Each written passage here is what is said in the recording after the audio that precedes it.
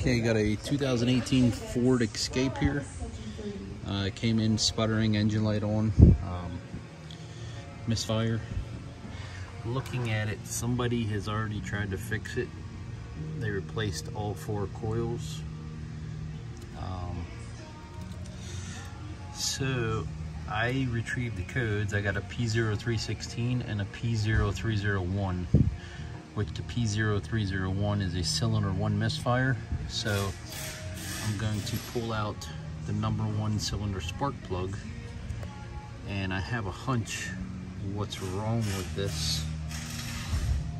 Um, coolant jug looks a little empty to me, so we shall see. This is actually a 2.0 liter. We will pull out that plug and see what we got in there with my bore borescope.